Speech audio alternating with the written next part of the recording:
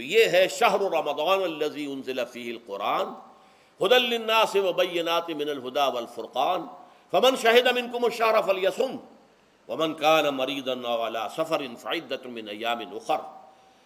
युरीदुल्लाह बिकुमुल युस्रा वला युरीदु बिकुमुल उस्र। वले तुकमिलुद्दत वले तुकब्बिरुल्लाह अला मा हदाकुम वलअल्लकुम तशकुरून। अब जो आखिरी लफ्ज़ तशकुरून, अब उसकी वजाहत समझिए। और रमज़ान के ये दो प्रोग्राम जब पैरेलल हो जाएँगे, जब दोनों की पाबंदी की जाएगी तो उसका हासिल क्या है? इस बात को समझने के लिए सबसे पहले आप इसको समझिए कि जिसे हम खुद ही कह रहे थे, जिसे हम सेल्फ कह रहे थे, अपनी अना को मज़बूत करना, सेल्फ कंट्रोल, ईगो जो है वो पूरी तरह काबू याफ्ता हो इड और लिबिडो पर, असल में उसे मुराद क्या है? इस पर मैंने तफसील से बहस की है। अजमत सोम नामी अपने किताबचे में। वैसे ये है कि वो मुश्किल है, ज़रा फलसफियाना उसका अंदाज है। लेकिन यह है कि वही बातें आसान अल्फाज में, जो दूसरा किताब चाहे अजमत क़याम क़याम रमज़ान मुबारक, वो आसान है। अगरचे ये दोनों बहुत ही महदूद तादाद में हमारे पास हैं, लेकिन यह कि मैंने ज़िक्र कर दिया, जो हजरात लेना चाहें वो ले लें। लेकिन यह है कि इसमें असल पसमंदर क्या है? देखिए, हमारा जो वजूद है इंसान का, ये कॉम्पोजिट है मुरक्ब है। हमारे दो वजूद हैं जो जोड़ दिए गए। कैसे जोड़ दिए गए हम नहीं जानते। लेकिन है दो वजूद। एक वजूद हैवानी है। हर, मैंने अर्ज़ किया था पहले ही, हर इंसान एक हैवान भी है, मुकम्मल। सारे हैवानी तकाजे हमारे अंदर भी हैं। लेकिन हैवान और इंसान में बुनियादी फ़र्क यह है कि इंसान का जो असल वजूद है वो रूहानी है। उस रूहानी वजूद की वजह से इंसान का वो मकाम हुआ। कि तमाम फरिश्तों को उसको सजा करने का हुक्म दिया गया। फैज़ा सवै तो हुआ नफ़क तो फ़ी मिर रूही फ़काऊ लहू साजिदीन। फरिश्तों से कह दिया गया था कि मैं एक बशर पैदा करने वाला हूँ मिट्टी से। जब मैं उसे पैदा कर लूँ और उसकी नाक पलक सवार दूँ दो पलक दुरुस्त कर दूँ तो फिर उसके सामने और उसमें अपनी रूह में से फूंक दूँ तो गिर पड़ना उसके सामने सज दे हैवान इंसान और इंसान रूहानी ये दोनों मिलकर अब आदम बने हैं। नंबर दो, इस हैवान इंसान का वजूद ज़मीन से है, मिट्टी से पैदा की। मिट्टी से, गारे से, तीन इन लाजिब से, चिप चिकाने वाले गारे से, वो जिसमें के बदबू पैदा हो जाए, ये सारी बातें कही गई हैं। और साइंस भी कहती है मिट्टी से पैदा हुए। कैसे पैदा हुए, उसमें इख्तलाफ है। लेकिन ये कि है मिट्टी हमारी ओरिजिन, कुरान भी कहता है और साइंस भी कहती है। और हमारे वजूद को जब वो थक जाए, मुजमहिल हो जाए, उसकी एनर्जी कम हो जाए तो उसके लिए जो गज़ा है, जो तकवीत है, वो भी सारी ज़मीन से आ रही है। आपने फल खाए, आपने गंदुम खाई, आपने चावल कहाँ से आ रहे अच्छा बकरी का गोश्त खाया तो बकरी का गोश्त किस चीज़ से बना है? उसने घास खाई है, उसने पत्ते खाए हैं, वहीं से तो बना है ना। अल्टीमेट सोर्स आपके वजूद हैवानी के लिए जो आ रही है, वो ज़मीन है। वजूद रूहानी को भी तकवीत की ज़रूरत है। वो भी मुजमहिल होती है, कमज़ोर हो जाती है। ख़ास तौर पर जबकि वजूद हैवानी का उस पर गलबा हो जाए, तब तो यूँ समझिए कि वो बिल्कुल बेहोश होकर मौत के करीब पहुँच जाती है।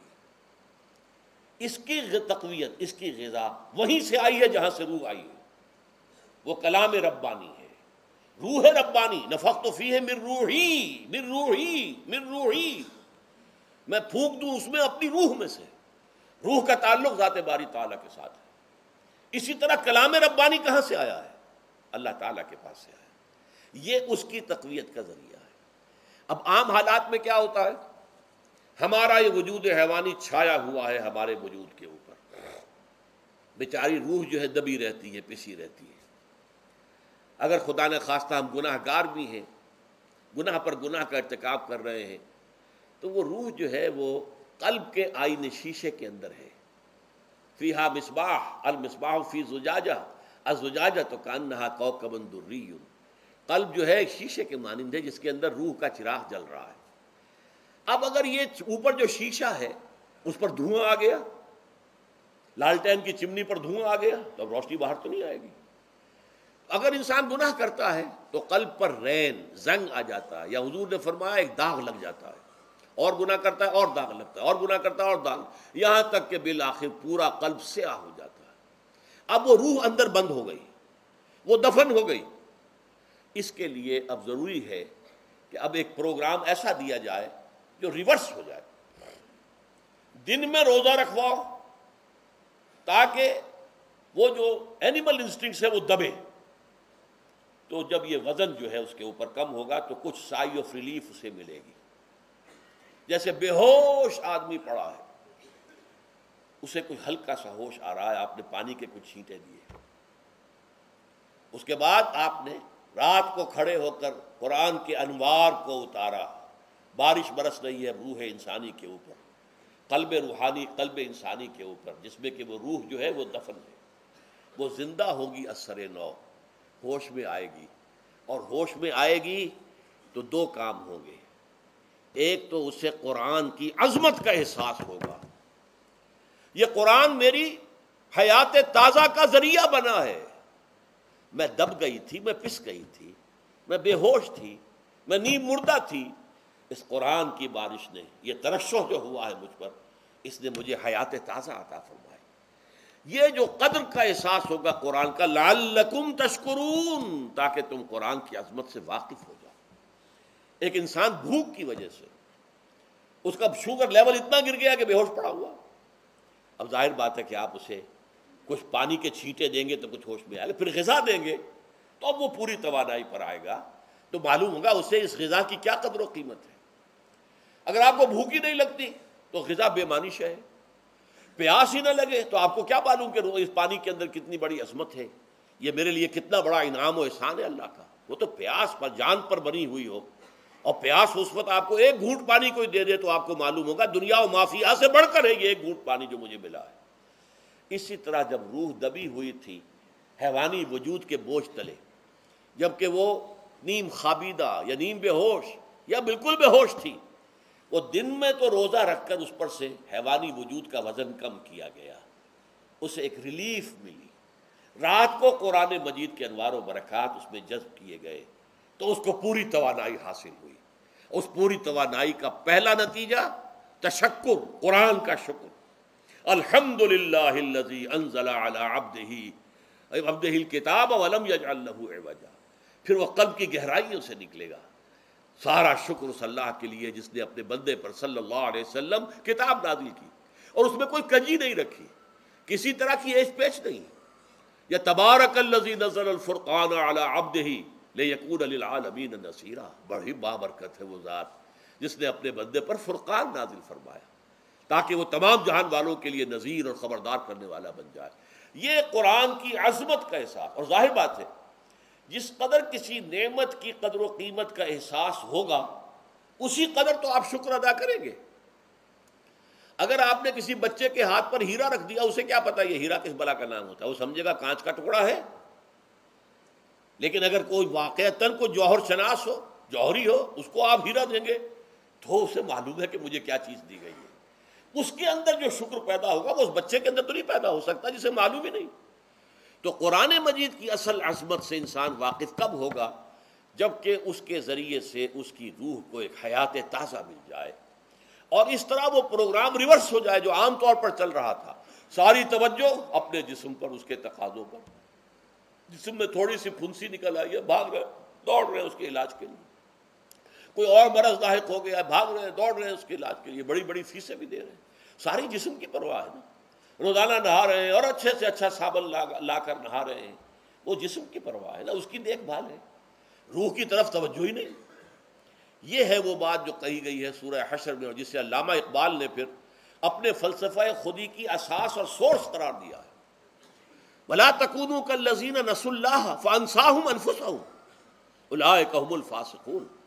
देखो ए मुसलमानों, उन लोगों के मानिंद ना हो जाना। जिन्होंने अल्लाह को भुला दिया तो अल्लाह ने उन्हें अपने आप से गाफिल कर दिया। और यही लोग फासिक व फाजिर हैं। ये सवाल पैदा होता है कि इंसान अपने आप से कहाँ गाफिल होता है? क्या अपने वजूद हैवानी से गाफिल होता है? क्या भूख लगती है तो इधर उधर मुँह मुँह नहीं मारता? गजा को हासिल करने के लिए कोशिश नहीं करता। प्यास लगती है तो क्या पानी या कोई और मशरूब तलाश नहीं करता? कोई बीमारी लाक होती है तो क्या उसके इलाज की तरफ़ तवज्जो नहीं करता? उसे आराम की हाजत होती है तो आराम नहीं लेता। अपने इस वजूद से तो गाफिल नहीं। कौन से वजूद से गाफिल हुआ है? वो रूहानी वजूद से गाफिल है। भूल गया कि मेरे अंदर रूहानी वजूद भी है उसका ताल्लुक ज़ात बारी ताला के साथ है। उसने समझा कि मैं बस हैवान हूँ, निरा हैवान हूँ। अपने उस वजूद की असल हकीकत ही से बेखबर गाफिल। चुनाचे आज के दौर का सबसे बड़ा अलमिया क्या है? डार्विन के नज़रिए के, जो असरात पैदा हुए हमारी माशरत पर, हमारी सोच पर, हमारे फ़िक्र पर, हमारे फलसफे पर, हमारी सोशोलॉजी पर, वो क्या है कि हम भी निरे हैवान हैं। अल्लाह अल्लाह खैर ये सबसे बड़ी महरूमी है इस दौर की कि इंसान अपने असल शरफ से खुद ही मुस्ताफ़ी हो गया। हमारा कोई वजूद है ही नहीं, रूहानी वगैरह, रूह किसे कहते हैं, हम नहीं जानते। बस ये जिस्म है। हम अल्लाह को नहीं जानते कौन है, कौन नहीं है, होगा। हम तो इस कायनात को जानते हैं। हम वूह से वाकिफ नहीं, हम तो अपने जिसम को वाकिफ हैं। आखरत वाखरत से हम तो अब हमें कुछ पता नहीं, शायद हो, शायद ना हो, कुछ पता नहीं। लेकिन ये ज़िंदगी तो है, इसे हम जानते हैं। ये है आज के इंसान का सबसे बड़ा अलमिया। और ये है मास मास स्केल के ऊपर इर्तदाद, जहनी तौर पर मुर्तद हो चुके हैं। इंसान, इंसानों की अजीम अजीम अक्सरियत मुर्तद हो चुकी है।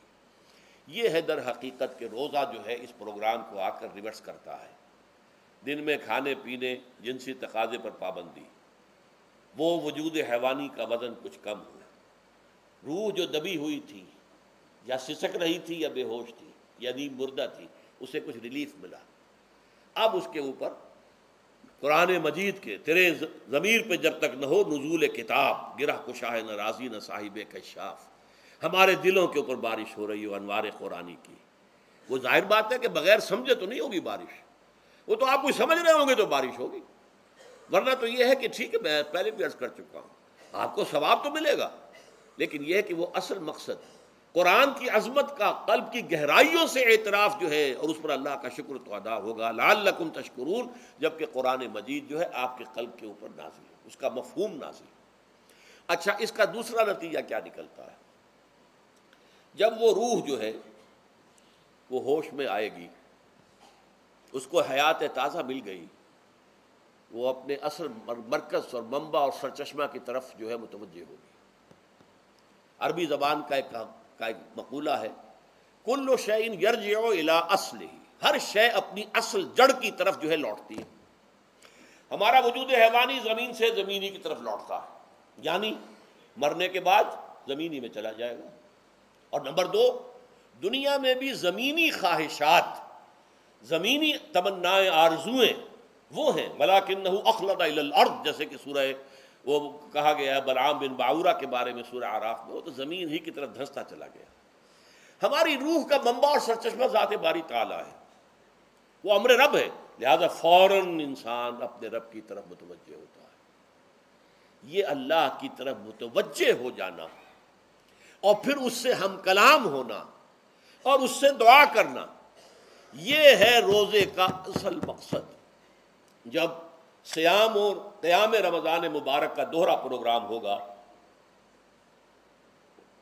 तो रूह इंसानी या इंसान का हैवानी वजूद अपने मरकज की तरफ़ माइल परवास था हुस्न। इसको कह लीजिए अपने मरकज की तरफ़ माइल परवास है रूह। हर शय अपनी असल की तरफ़ लौटती है। लिहाजा ये अल्लाह की तरफ़ मुतवजह होगी। ये अल्लाह ताला की तरफ़ मुतवजह होने का मामला दुनिया में रहा है कि लोग कहीं जंगलों में जाकर तपस्याएँ करके, गारों में बैठ के, बड़ी बड़ी रियासतें करके क्या चाहते थे? मुझको है तेरी जस्तजू, मुझको तेरी तलाश है। खालिद, मेरे कहाँ है तू? मुझको तेरी तलाश है। मैंने ये नज़म जो है, तकरीबन छः साल जो है, हर रोज़ सुबह, हमारा जो हाई स्कूल था उसमें जो सुबह प्रेयर होती थी, लोग सब जमा होते थे, पूरा स्कूल जो है उसके हमारे तलबा तो ये नज़म जो है पढ़ी जाती थी। मुझको है तेरी जस्तजू, मुझको तेरी तलाश है। खालिद, मेरे कहाँ है तू, मुझको तेरी तलाश है। रूह इंसानी चाहती है अल्लाह का तकर्रुब, अल्लाह के करीब होना, अल्लाह से रिश्ता उसवार करना। ये वजूद हैवानी हाइल है उसके रास्ते में। ये हयात दुनियावी उसके लिए पिंजरा बन गई है। उस रूह के लिए ये एक अदर हकीकत, एक कैद खाना है। जैसे कि हजूर ने फरमाया कि दुनिया सिजनुल मोमिन व जन्नतुल काफिर।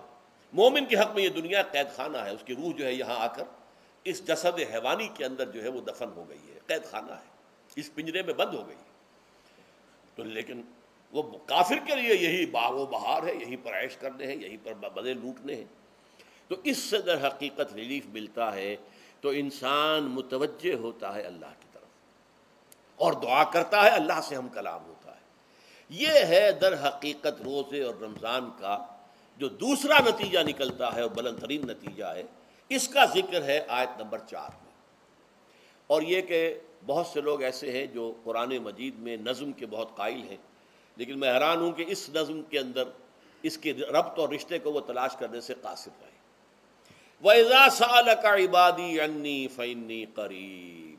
जब रूह बेदार हो जाएगी, उसे हयात ताज़ा मिलेगी तो है नबी मेरे बंदे जब आपसे पूछें मेरे बारे में, वो मेरा तकर्रब चाहते हैं, मेरा कुर्ब चाहते हैं। वो चाहते हैं मुझसे हम कलाम होना। वो चाहते हैं कि मुझे उनके साथ, उनको मेरे साथ एक नस्बत मिल जाए। वैजा साल का इबादी अन्नी फ़ैनी करीब। उन्हें बता दीजिए, मैं करीब ही हूँ। मैं दूर नहीं हूँ। और आया है सूर्य काफ में, नहन अकरब बिन वरीद। जो शहरग है, इंसान की, उससे भी ज़्यादा करीब हूँ मैं उससे। नोट कीजिए, कैसे? उसकी रूह का ताल्लुक मेरी रात के साथ है बरह रास्त। इसकी मिसाल भी मैं दे चुका हूँ कई अपनी किताबों के अंदर। अजमत सोम नामी किताब जब पढ़ेंगे, जो हजरात भी समझ सके पूरी तरह उसको। उसके अंदर ये बात बयान हुई। और इसीलिए देखिए हदीस आखिरी पढ़ लीजिए कि हुजूर ने करार दिया है कि रोज़ा जो है तमाम इबादात के अंदर एक बिल्कुल मुनफरद शान का हामिल है। वहाँ नबी हुररत रज़ी अल्लाह तन और ये मुतफ़न रिवायत है, बुखारी और मुस्लिम दोनों की। काला रसूल अलैहि वसल्लम, काल अल्लाह जल, इसे हदीस कुदसी कहते हैं। हुजूर ने फरमाया कि अल्लाह फरमाता है तो ये हदीस भी हो गई कि हुजूर ने हमें बताई और हदीस कुदसी हो गई कि अल्लाह का कौल है जो हुजूर नकल कर रहे हैं। कुरान मजीद वही ये जली है, ये वही ये खफी है, लेकिन ये आम हदीसों के मुकाबले में इसका मरतबा और मकाम बहुत बुलंद है कि हुजूर फरमा रहे कि अल्लाह फरमाता है। यकूल अज़्ज़वजल कुल्लो अमल इबन आदम लहू, इबन आदम का हर अमल, हर नेकी उसके अपने लिए, अपने फ़ायदे के लिए। सोम, सिवाय रोज़े के।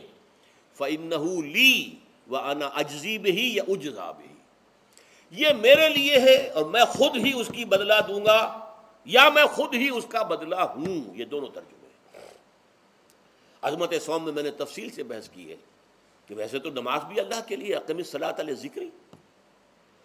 हज किस लिए है? लिल्लाजबैतमनस्ता सबीला। अल्लाह के लिए जक़ात किसके लिए? अल्लाह के नाम पर दी जा रही है, अल्लाह के लिए दी जा रही है। सौम में बात क्या है? सौम में असल चीज़ मलहूस क्या है? रूह इंसानी को ताज़ा करना, ज़िंदा करना, उसकी हयात ताज़ा का बंदोबस्त करना। और रूह का ताल्लुक ज़ात बारी ताला के साथ है। इस ताल्लुक की मिसाल यूँ समझिए, जैसे हमें मालूम है सूरज का फासला हमसे कितना है? करोड़ हा करोड़ हा करोड़ हा करोड़ हा मील। लेकिन सूरज की किरण जो वहाँ से चलकर यहाँ तक पहुँची है क्या उसका ताल्लुक सूरज से मुनकते है? सूरज के साथ तो ताल्लुक कायम इसी तरह रूह इंसानी, ज़ात बारी ताला से बहुत दूर आकर कह लीजिए, हमारे वजूद के अंदर आ गई, हमारे कल्ब के अंदर मुतमक्न हो गई। लेकिन क्या उसका ताल्लुक अल्लाह की ज़ात से मुनकते है? नहीं।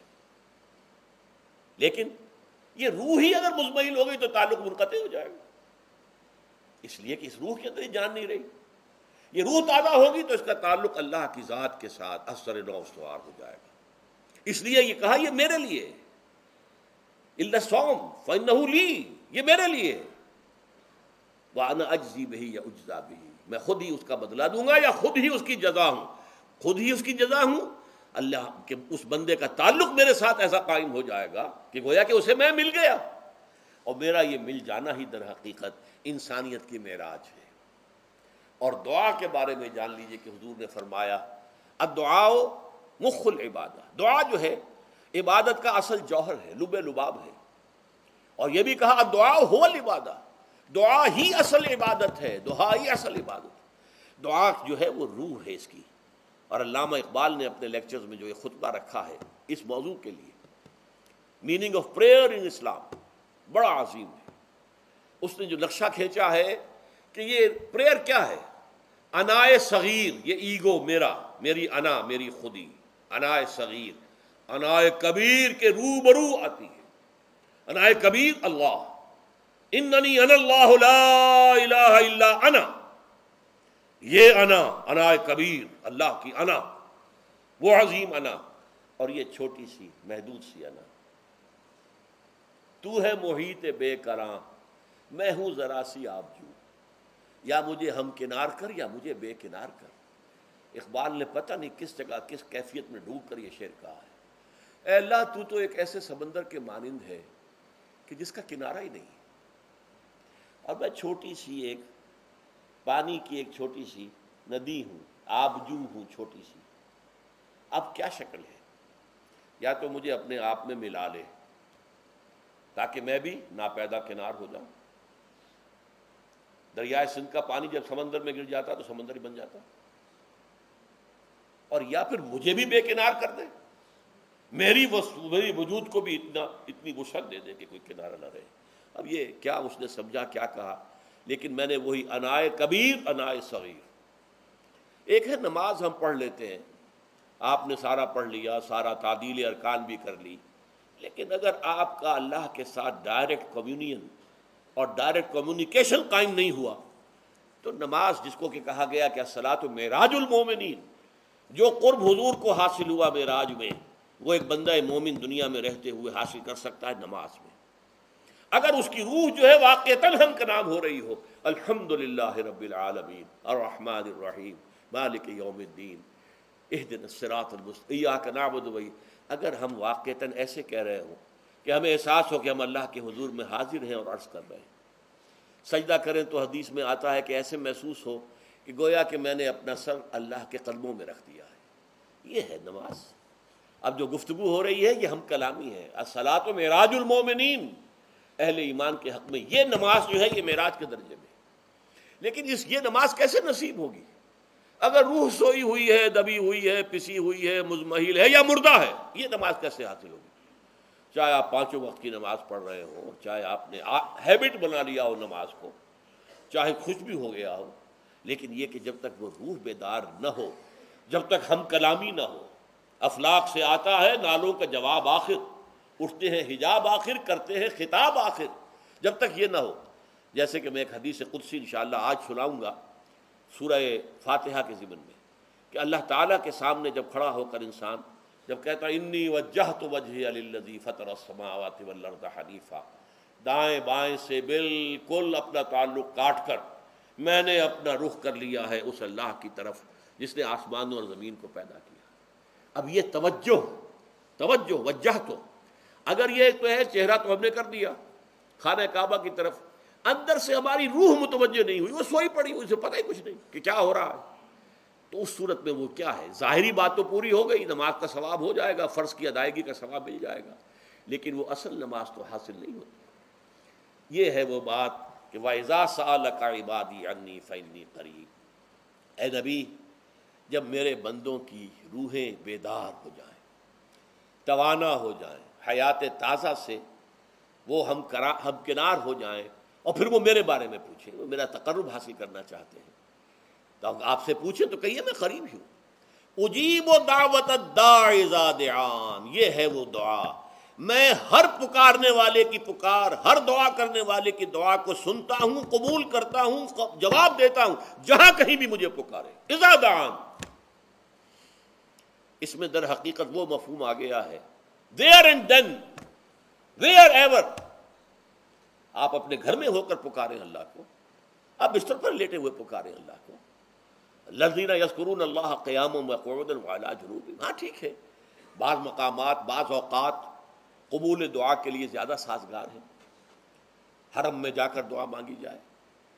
और मिना में, अरफात में ख़ास तौर पर, जबल रहमत पर ख़ास तौर पर, मुलतज़िम जो है, काबे का उस पर ख़ास तौर पर वह अयाम भी है ख़ास, लेकिन यह नहीं है कि बकिया दिनों में आपके और अल्लाह के दरमियान को बड़ा फासला है। ये सारा दुनिया में मुशरकाना निज़ामों ने तस्वुर पैदा किया। अल्लाह तो दूर है दूर है दूर है दूर है, पाक है पाक है, पाक। तुम ना पाक हो ना पाक हो ना पाक हो। और तुम तो बड़ी पस्ती में पड़े हो, तुम अल्लाह से बराह रास्त हम कलाम नहीं हो सकते। कोई दरमियानी चाहिए, कोई लिंक्स चाहिए। कोई पुजारी होगा, कोई पुरोहित होगा, कोई पंडित होगा, कोई पीर होगा, कोई कोई पादरी होगा कोई पोप होगा, उसके ज़रिए से तुम अल्लाह से हम कलाम हो, खुद नहीं। और जब ज़रिए बीच में आ गए तो इनकी मुट्ठी गर्म करो, इनकी चापलोसी करो, इनको भी जो है चादरें चढ़ाओ, इनको नजराने पेश करो। ये है बदतरीन एक्सप्लाइटेशन जो मज़हब के ज़रिए से नौ इंसानी की हुई है। ये दो एक्सप्लाइटेशन दुनिया में हुई है, तारीख इंसानी में। एक बादशाहों की तरफ़ से, खराज दो हमें, मेहनत तुम करोगे खेत में आधा हिस्सा हमारे पास आएगा। हम ऐश करेंगे, हम स्टैंडिंग आर्मीज रखेंगे ताकि ज़रा तुम बगावत करो तो तुम्हारा सर कुचल दिया जाए। ये एक्सप्लॉयटेशन बदतरीन। मांगने वाला गदा है, सदका मांगे या खराज। दूसरी तरफ़, हम बादशाह हैं। हम चंद्र बंसी सूरज बंसी खानदान हैं, हम राजपूत हैं। हुकूमत करना हमारा हक है। और ये पंडित पुरोहित जो है वो भी कहेंगे कि ठीक है निसफुल्ली व निसफुल्लक वहादा कौम जाहिलून। ये आवाम जो है इनका खून चूसो हमें ये नजराने पेश करें बुतों को आके चढ़ावे चढ़ाएँ और तुम्हें खराज दें और टैक्स दें। They are to be exploited exploit हो रहा इस्लाम ने आकर दोनों का खात्मा किया। कोई मलूकियत नहीं। जक़ात है तो गुरबा के लिए, बादशाह के लिए नहीं है। देते हैं तुम्हारे लिए। और पुकारने वाला पुकारता है, हल बिल मुस्तफिर फ़िर अल्लाह। है कोई इस्तफार करने वाला कि मैं उसे बख्श दूँ? हल बिन साइलिन फ़ोतिया हूँ कोई मांगने वाला कि मैं उसे अता करूँ? तुम ही सोए रहते हो, अंटा गफील रहते हो। तुम्हें हमारी तरफ़ तवज्जो नहीं है। अगर हमारी तरफ़ मुतवजह हो जाओ तो जैसे कि इकबाल ने कहा कि मैं, मेरे लिए ये दरबान जो है, पीरान कलीसा को कलीसा से उठा दो। क्यों खालिक मखलूक में हाइल रहे पर्दे? और ये मैंने कई मरतबा बयान किया है। हमारे यहाँ वो पी पी पी जो जमात बनी थी एक अब उसमें दो पीए और ऐड हो गई हैं। पी पी पी फिर वो पैट्रियट, और उससे आगे अपनी पहले पार्लियामेंटेरियन की पी आ गई और फिर पैट्रियट की आ गई। पाँच पीस हो गई। इसी तरह गिनती है। हिंदुस्तान में पंडित, पुरोहित और पुजारी। तीन पे तो यहाँ थी। पीर, ईरान का पीर। और पोप और पादरी।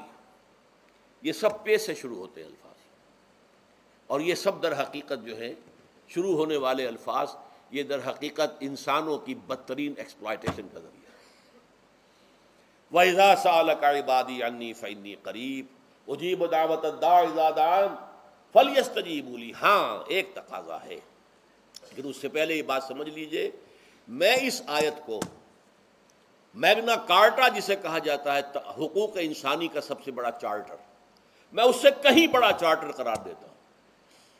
कि अल्लाह कहता है, मुझसे हम कलाम होने के लिए किसी वास्ते की, किसी वसीले की कोई हाजत नहीं। जब चाहो, मुझसे हम कलाम हो जाए। हाँ एक शर्त है।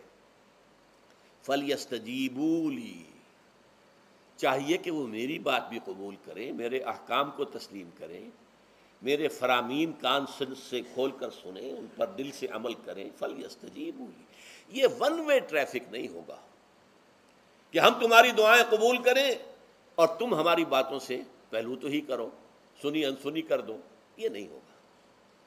ये एक टू वे ताल्लुक है, जिसे आजकल कहा जाता बाईलेटरल ताल्लुक है। बाईलेटरल ताल्लुक है अल्लाह और बंदे के दरमियान। बंदा तौबा करता है मासी से, अल्लाह ताला भी, उसके लिए भी लफ्ज़ तवाब है। वो भी अपनी रहमत के साथ दोबारा मुतवजह हो जाता है। तुम अल्लाह को याद करो फसकुरूनी अस्कुरकुम, मुझे याद रखो, मैं तुम्हें याद रखूँगा इन तंसरुल्लाह यंसुरकुम, अगर तुम अल्लाह की मदद करोगे, अल्लाह तुम्हारी मदद करेगा। यह है दो तरफा मामला। इसी तरीके से तुम चाहते हो कि मैं तुम्हारी दुआएँ कबूल करूँ? मुजीब दावत दादान मैं हर पुकारने वाले की पुकार को सुनता हूँ, जब और जहाँ वेयर एंड वेन वो मुझे पुकारे। लेकिन लाजिम है फलियस्तजीबूली वो भी मेरा कहना माने। मेरे फरामीन को खुले कानों सुने और तहे दिल से उस पर अमल करें। वलयूमनू भी और मुझ पर ईमान पुख्ता रखे। यकीन उसके साथ मुझे पुकारे। लालहम यरशदून। अब ये सबसे बड़ा लफ्ज़ आ गया, ताकि उन्हें रुश्त हासिल हो जाए। रुश्त। फौज, फलाह, रुश्त। ये कई अल्फाज हैं। फौज, फाइज, फलाह, मुफलहून। रुश्त, राशिदून। और ये लफ्ज़ इस्तेमाल हुआ सहाबा कराम के लिए सूर्य हजरात में। उलाए कहमुर राशिदून। तो गोया कि ये बुलंद तरीन मंजिल है इंसान के लिए। अगर उसका ये ताल्लुक़ अल्लाह के साथ कायम हो जाए, दुआ का हम कलाम होने का रिश्ता उसको कबूल हो, मुझ मिल जाए। अब आखिरी बात नोट कीजिए। आखिरी आयत जो है इस रुकू की, बज़ाहिर उसका ताल्लुक न रोज़े से, न रमज़ान से अकल हलाल, अकल हराम से रोका गया है।